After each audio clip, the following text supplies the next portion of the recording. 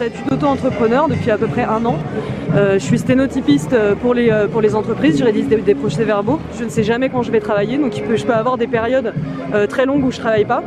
Et j'ai des périodes où tout d'un coup, j'ai énormément de travail, mais à un point, c'est-à-dire des 60, 70 heures, 80 heures par semaine, que je ne peux pas refuser parce que si je refuse, après, la personne pour laquelle je travaille ne me donne plus de réunion. Si elle décide de ne plus me faire travailler, je travaille plus et j'ai droit à rien. Je ne cotise pas pour le chômage, donc j'ai pas droit à des indemnités chômage.